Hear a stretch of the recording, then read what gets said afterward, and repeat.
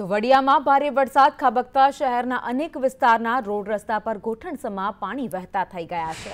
PGVCL road અને petrol pump road પર નદીઓની જેમ પાણી વહેતા થતાં વાહન ચાલકોને ભારે મુશ્કેલી વેઠવાનો વારો આવ્યો છે. વડિયા પંથકના ખીચડિયા ખાન ખીચડિયા તોરી રામપોર સહિતના ગામોમાં પણ ધોધમાર વરસાદ વરસ્યો હતો. રસ્તા ઉપર ભારે વરસાદને કારણે પાણી ભરાઈ ગયા છે.